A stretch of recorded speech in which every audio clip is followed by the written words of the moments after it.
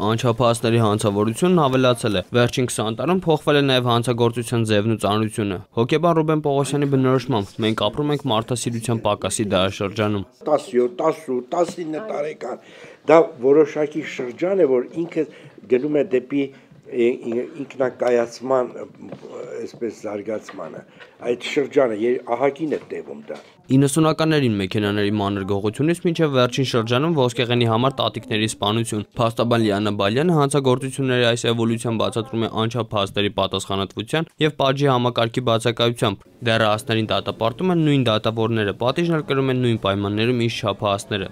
Պետք է լինեն մասնագիտացված դատավորներ, մասնագիտացված փաստաբաններ, որոնք պետք է զբաղվեն հատուկ անչափահասների գործերով։ Հոկեբանները մեծ սպասումներ ունեն պրոբացիոն համակարգի ներդրումից, բայց պնդում են, որ անչափահասների հանցավորության դեմ պայքարը պետք է սկսել ընտանեկան եւ դպրոցական դասյարակությունից։ Աղվան Ասոն Ալբերտ Գալստյան, ժամը լրատվական։